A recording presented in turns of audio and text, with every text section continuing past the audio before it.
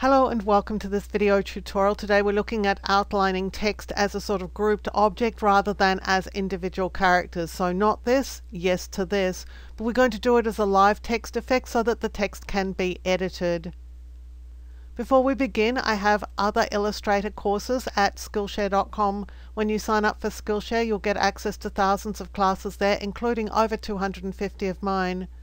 In the description below is a Skillshare coupon for you, which is at least as good as the current Skillshare offer, and typically mine will be better. I also have Illustrator training at udemy.com, and there is a referral link for each one of those courses in the description below. Please feel free to share these with family, friends, and co-workers.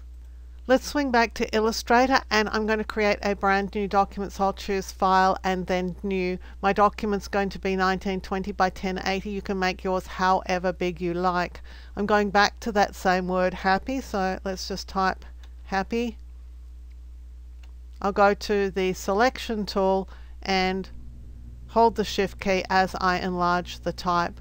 I'm going to use a joined up font just simply because it's going to make it easier to see what's going on here. So I have a font here called Cream Puff that I'm using. Now if I add a stroke to this type, let me go and get a sort of turquoise stroke and make it a reasonable size and make my type the pink color that I want it to be. You can see that I've got problems here and the problems are that the individual letters have this stroke around them and that the stroke isn't going over the entire text object, it's just being picked up around individual letters. Now if we want that not to be the case, the solution is pretty easy. We'll open up the Appearance panel with the type selected by going to Window and then Appearance. Oh, I've lost my type. Let's just go and select it again because this is what your appearance panel should look like. You shouldn't be able to see the fill and the stroke and the reason for that is that the fill and stroke are in the characters area. So let's just go into this. I'm going to double click and I'm going to turn the stroke off and I'm going to turn the fill off. So effectively we're removing the fill and the stroke from this type. So we've got nothing at all. We've got type, we just can't see it. So clicking out of that and going back into this type area, we can now add our fill and stroke and that's going to make a really big difference. So I'm going to click down here and add a new fill. Now I'm going to change my fill to a fill color of my choice. And I'm going to add a stroke color. I'm going to make that a sort of turquoise blue and I'll make it a bit thicker too. But you can see that we've got the exact same problem as we had in the characters panel, but we also have the possibility for a solution this time. Because if we go to the characters panel, you'll see that you can't drag the stroke underneath the fill. So you can't rearrange the order of these two attributes for your type.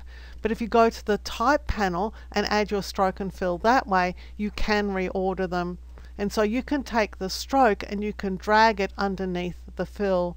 And when you do that, the type is being treated as a single object. The line is going behind the fill here. Now you can also drag it below characters and so you're going to get the same result there. So you can take it below characters or you can just take it below the fill.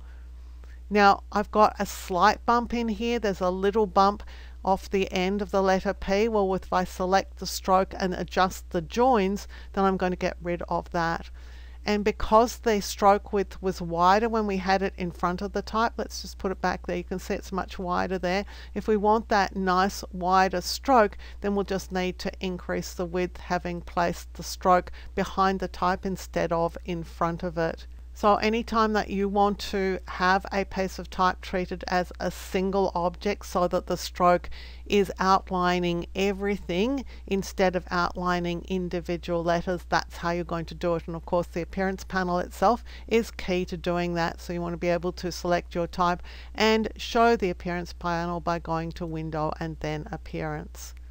I hope you've enjoyed this video. I hope that you've learned things about Illustrator of which you were previously unaware. If you did enjoy the video, please give it a thumbs up, hit the subscribe button and that notification bell, and you'll be alerted when new videos are released. Until next time, my name's Helen Bradley. Thank you so much for joining me here on my YouTube channel.